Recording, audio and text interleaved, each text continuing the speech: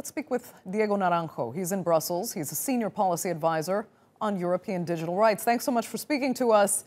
First, help us better understand now who wins and who loses under this law.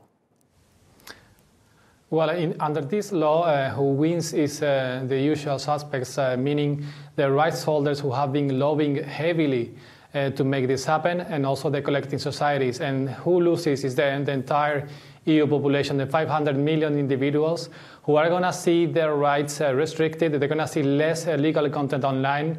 They're going to have less access to culture. And generally, they're going to see each piece of their content, each piece of message, video, audio, and the, they upload to the internet being scanned and filtered out by these big tech monopolies. I mean, was this the best you think the EU could actually do uh, to protect copyrights?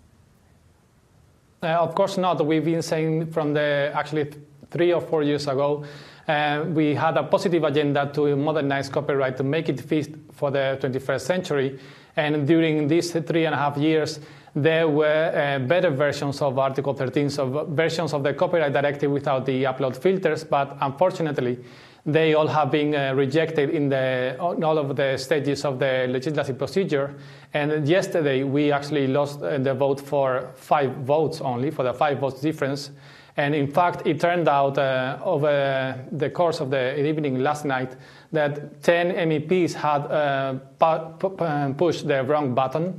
And we could actually have been able to vote on this, but uh, the, because of these 10 people who uh, pressed the wrong button, we were unable to even have the debate on, on removing upload filters from the EU or not. Uh, okay. Uh, can something be done about that? And I mean, uh, help us understand those that didn't push the wrong button and voted against uh, what you feel was right. What interests are they protecting?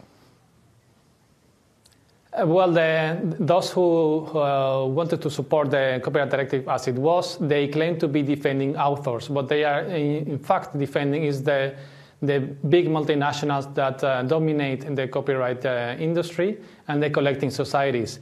And then on the other side, we had the big tech who were opposing this. Um, but in the middle, we have all the individuals who, have, who are going to be affected by, by this new legislation. Regarding the vote, uh, we don't know what's going to happen. Uh, it seems that they are going to be able only to correct the, the record of the vote. So they're going to be able to say, okay, I should have been voting this, this is a mistake. But the vote will not be reopened, and uh, we will uh, stick to the text of the directive that was adopted yesterday. Okay, Diego, uh, help us really, really break it down for us now, because I mean, consumers seem particularly yes. concerned about this law's effect on websites like YouTube. Uh, they think they're going to lose access mm. to huge amounts of content. So tell us what will happen when they search something on YouTube uh, that they want to see, that cultural content you were referring to. What will happen? What will they not be able to view? well, um, until now, the, all of these platforms, not only YouTube, but all of the other platforms operating online, uh, uh, work until this system called the notice and takedown. So they are not responsible, they are considered passive subjects. So unless they are notified that there is illegal content or copyright infringing content on their services, they don't have to act. They only have to act if they are being notified. Right now, with this directive, once it is implemented in two years from now, uh, all of these platforms will be obliged to scan each piece of content to have upload filters on their services and then discard and um, the content which is copyrighted or which they co- could consider being uh, copyrighted. These algorithms uh, don't work properly. We have seen many examples of uh, algorithms not working, like, for example, uh, James Rhodes, the, pian- the classic pianist, uh, recording himself playing Bach in his own living room. Bach is, of course, out of copyright uh, for 250 years already. So he was recording himself, and the video was uh, wrongly detected by Sony Music containing 37 seconds of, uh, of copyrighted music and was taken down by YouTube.